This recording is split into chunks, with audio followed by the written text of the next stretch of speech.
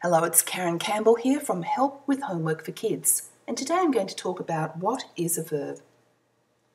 Verbs are often described as doing words or action words.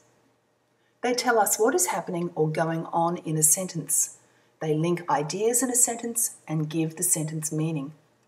Every sentence must have a verb. Even if that sentence only has one word in it, that word must be a verb. Examples of simple verbs would be words like jumped, loves, surfed, and cried. The dog jumped over the fence. My daughter loves flowers. He surfed the waves. I cried during the movie. Compound verbs are a little bit more complex because they have two or more words that work together to form the verb in the sentence.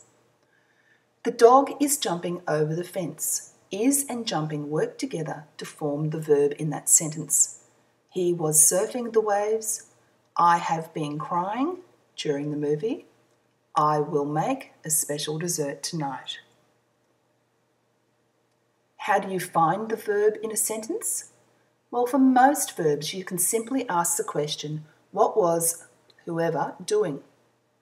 For example, the boy surfed the waves. What did the boy do? Oh, he served. Another example the dog is jumping over the fence. What is the dog doing? He is jumping.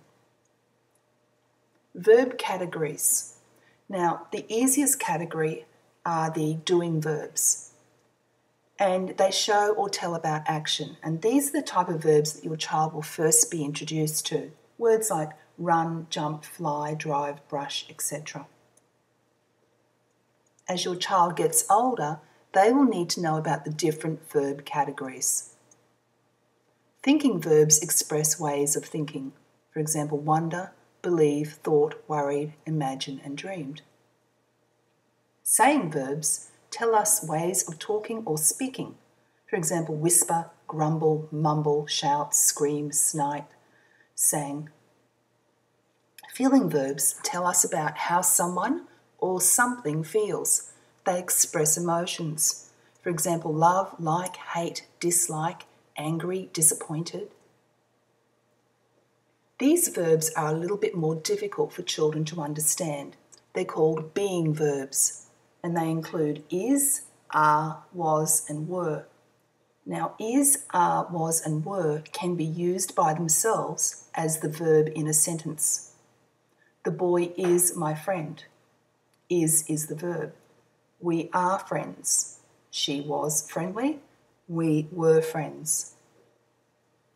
Being verbs also include be, being, and been. However, with be, being, and being, these words must be used with other verbs. I will be the school captain next year. Be is used with will to form the verb. She is being silly. Is being is the verb. I have been to the dentist. Have been is the verb. Having verbs are also difficult, and it's best if your child can learn these off by heart. And they include has, have, and had. He has a skateboard. Do you have your hat? I had chicken for dinner. Having verbs can also support other verbs. For example, I have been to Paris. Have been forms the verb. Auxiliary verbs or helping verbs are used with other verbs to make a complete verb.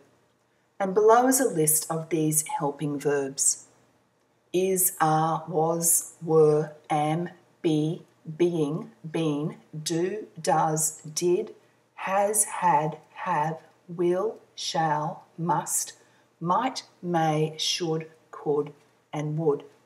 And below, I've given you some examples of how to use these in sentences. She is swimming her fourth lap of the pool. So, is swimming is the total verb, and is is the helping verb. We have watched the sunset for the past week. Have watched is the verb. If you found this slideshow helpful, visit our website at www.helpwithhomeworkforkids.com. We have loads of great advice on our website, and our mission is to empower parents to help their children to succeed at school and be the very best that they can be.